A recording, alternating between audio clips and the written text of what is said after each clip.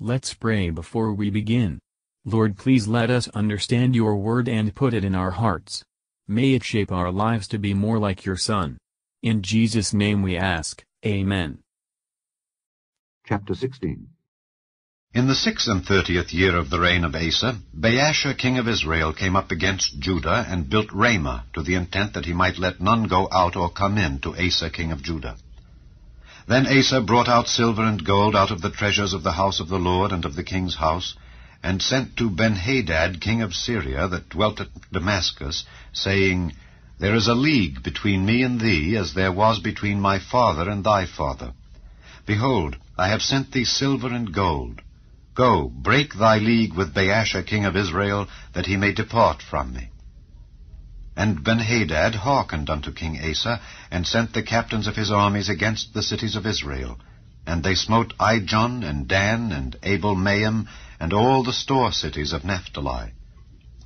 And it came to pass when Baasha heard it, that he left off building of Ramah, and let his work cease.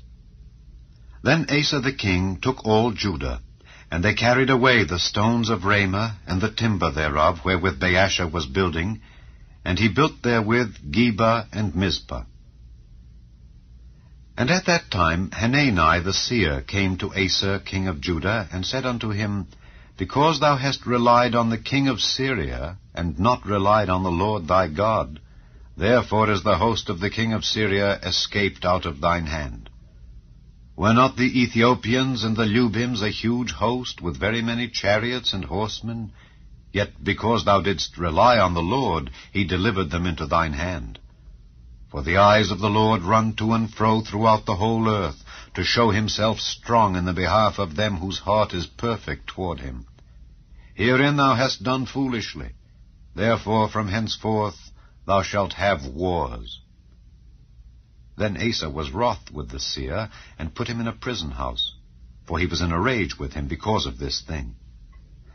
And Asa oppressed some of the people the same time. And behold, the acts of Asa first and last, lo, they are written in the book of the kings of Judah and Israel. And Asa, in the thirty and ninth year of his reign, was diseased in his feet, until his disease was exceeding great. Yet in his disease he sought not to the Lord, but to the physicians. And Asa slept with his fathers, and died in the one and fortieth year of his reign. And they buried him in his own sepulchres, which he had made for himself in the city of David, and laid him in the bed which was filled with sweet odours and divers kinds of spices prepared by the apothecary's art. And they made a very great burning for him. Matthew Henry Commentary on 2 Chronicles chapter 16 A plain and faithful reproof was given to Asa by a prophet of the Lord, for making a league with Syria. God is displeased when he is distrusted, and when an arm of flesh is relied on, more than his power and goodness. It is foolish to lean on a broken reed, when we have the rock of ages to rely upon.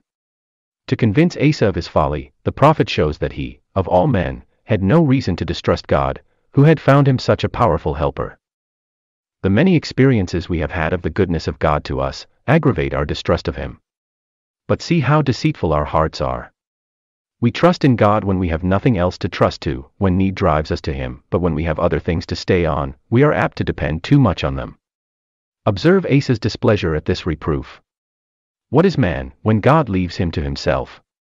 He that abused his power for persecuting God's prophet, was left to himself, to abuse it further for crushing his own subjects.